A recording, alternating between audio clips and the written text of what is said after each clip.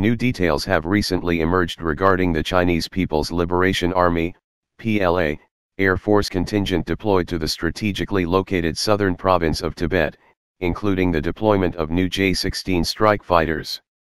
The J-16 reportedly first entered service in the PLA Air Force in 2013, and is one of the most capable derivatives of the Su-27 flanker air superiority airframe in the world.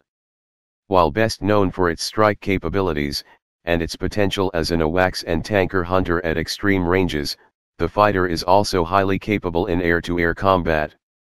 The deployment of the J-16 in considerable numbers this provides the PLA Air Force with a formidable complement to the J-11B, an older flanker derivative specialized in air superiority.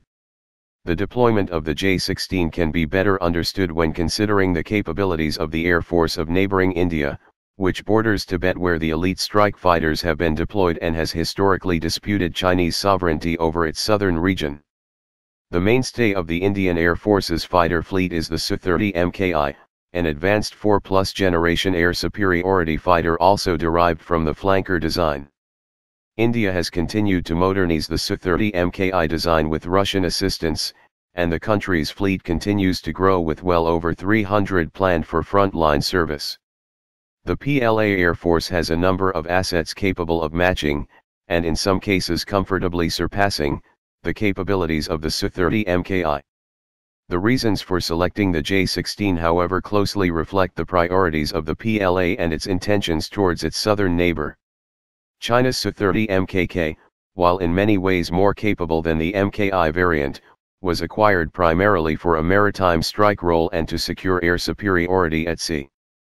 These fighters are largely being reserved for operations in the country's coastal regions, particularly the South China Sea, for which they are ideally suited. China's high-end next-generation air superiority fighters, Su-35 and J-20, have also been reserved primarily for deployment near the South China Sea and Taiwan Strait where the country perceives the greatest threat to its security. There they face the prospects of going head-to-head -head with elite Western fighters, namely the U.S. Air Force's F-22 Raptors. The deployment of cutting-edge platforms such as the J-20 and Su-35 near India's borders, to which Delhi has no similarly capable analog, could be seen as an escalation, something which both parties have a strong interest in avoiding. The J-16 however, fielding similar capabilities though in many ways superior to the latest Su-30 variants, will ensure continued parity against the increasingly capable and fast-growing Su-30 MKI air superiority fleet without its deployment causing significant risk of escalation. The J-16 design continues to be modernized with new munitions, electronic warfare systems, and even stealth coatings making it a highly reliable platform in both strike and air-to-air -air roles to defend China's southern border. If pressed into an air-to-air -air role, the fighter's sensors and high-end munitions, with the PL-15 providing a far more advanced air-to-air -air capability than the R-77 used by India, will ensure that the PLA will retain qualitative parity and the very least, but most likely a considerable advantage. The Taliban said Wednesday its negotiators would next week meet the top US and Pakistani officials including Prime Minister Imran Khan during a key round of talks in Islamabad as part of the ongoing Afghan peace talks. Neither Washington nor Islamabad immediately confirmed the announcement by the Taliban. On the formal invitation of the government of Pakistan, another meeting is scheduled to take place between the negotiation teams of the Islamic Emirate and the US on 18 February, 2019 in Islamabad, Taliban spokesman Zabihullah Mujahid said in a statement. The Taliban's delegation would also meet Prime Minister Khan, the statement said. Mujahid said the regular round of talks was already scheduled to be held on February 25 in Qatar. He said that in the meeting with Khan, Taliban would have comprehensive discussions about Pak-Afghan relations and issues pertaining to Afghan refugees and Afghan businessmen.